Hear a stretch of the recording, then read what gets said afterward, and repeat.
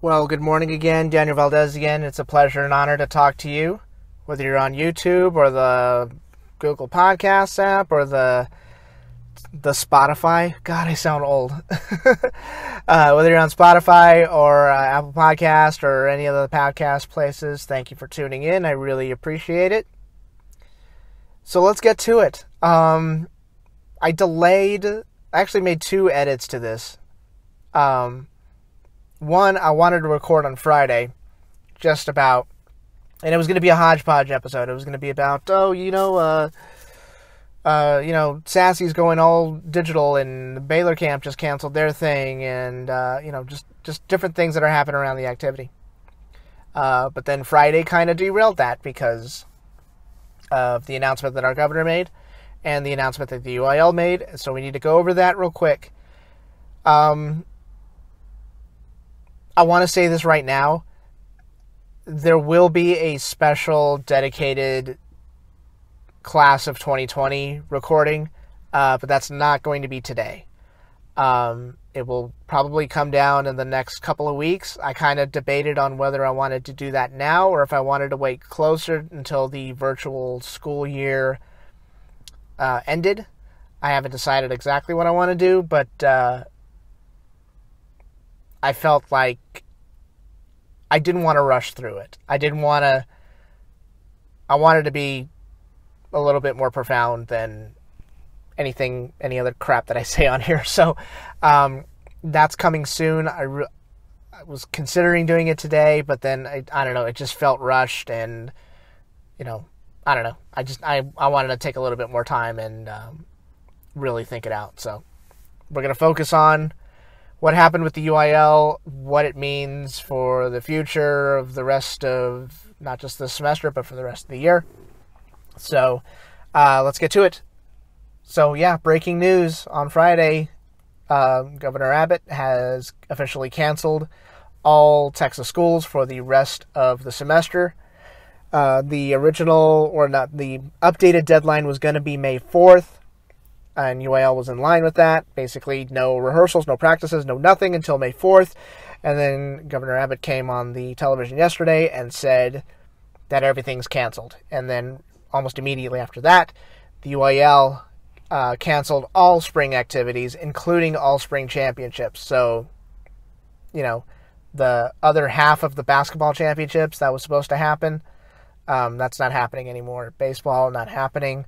Uh, what does this mean for the musical arts? Well, um, the state wind ensemble festival was already canceled, but two big things happened with UIL's announcement of canceling all activities for the spring.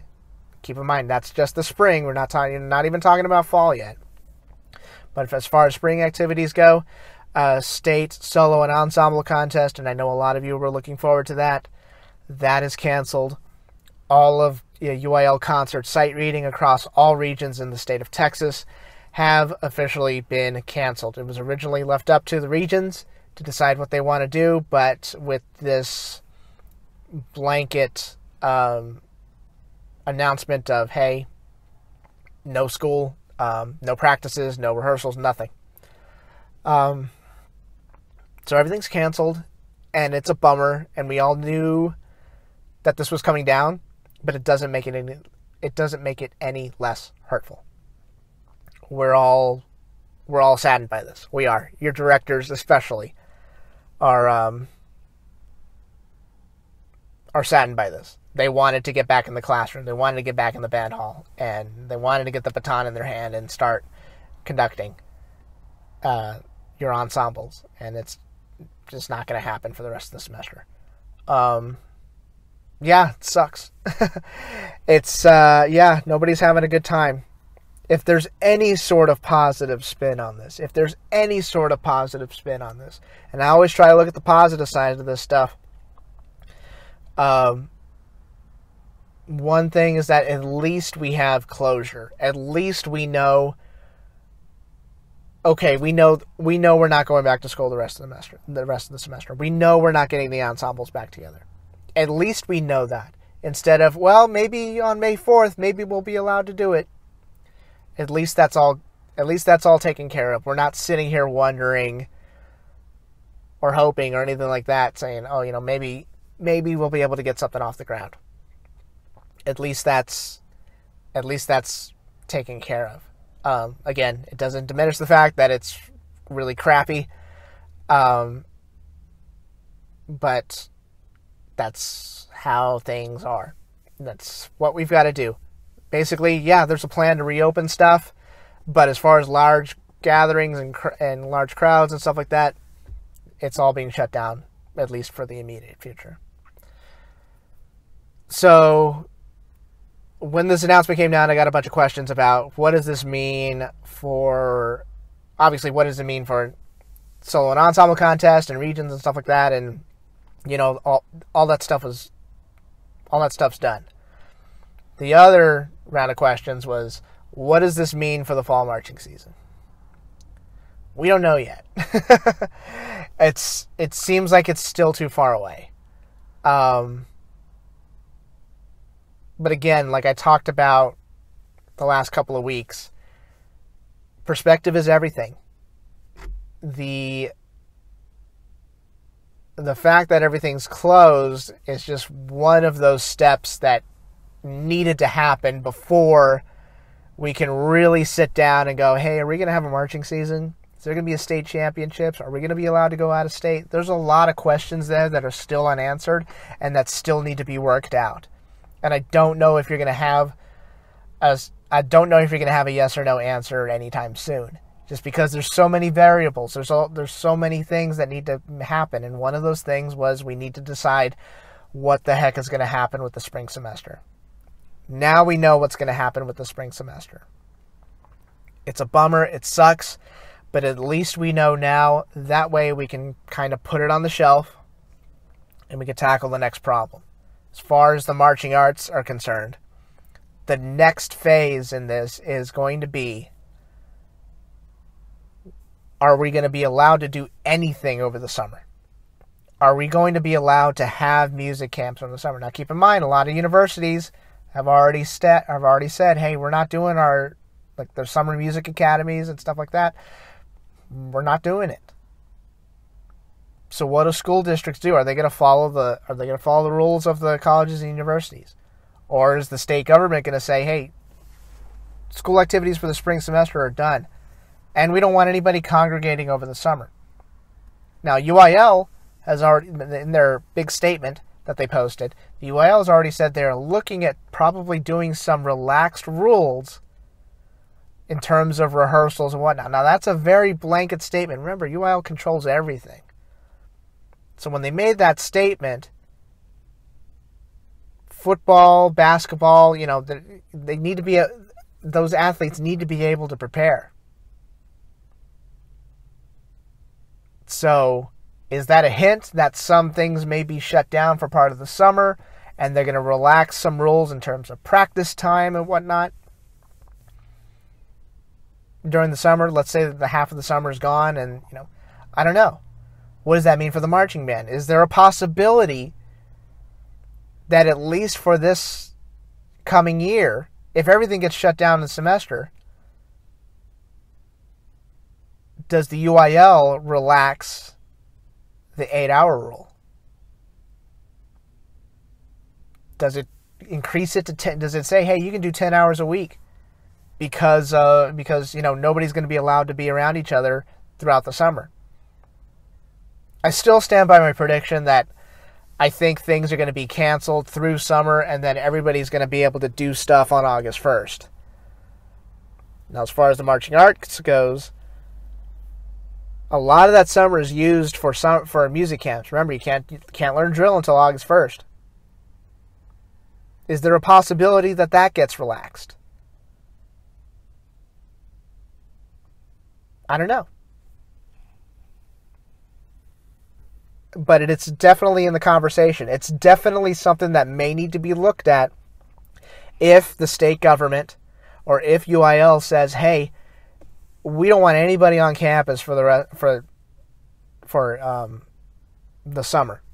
And then on August 1st or two weeks in, into July or the, the last two weeks in July, then you're allowed to do stuff. And you also have to look at another thing. What if certain counties have a greater outbreak of this virus than the others? What if they're allowed, what if some counties are allowed to participate in large groups and activities and some aren't? So, how do you be fair with that? It's very difficult. There's a lot of things, like, again, a lot of things that need to be put in motion. But at least we, at least one, although it's not the result we were looking for, at least one of those roadblocks is put to the side. At least we know there's no school for the rest of the semester. And there's no concerts, and that's all done. So we got to move forward. So, what do we do now? Well, obviously, music educators got to keep teaching. Students got to keep learning. Seniors, I feel for you, and don't worry. You, you, you and I are going to talk. You and I will talk pretty soon about everything, and I cannot wait to have that conversation with you. It's going to be a real interesting conversation. I can promise you that. Everybody else, keep doing your work, keep practicing your horn, and get ready for the fall marching season? Maybe? Time will tell. Again, I said maybe, probably, maybe. But until then, we keep moving forward. We keep trying to be nice to each other. We keep trying to stay sane. And uh, we keep trying to make music the best way we can.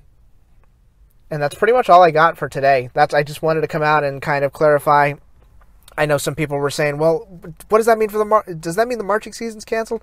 Does that mean uh, concert sight readings canceled? It just spring activities are done. Everything that has to do with the spring is done.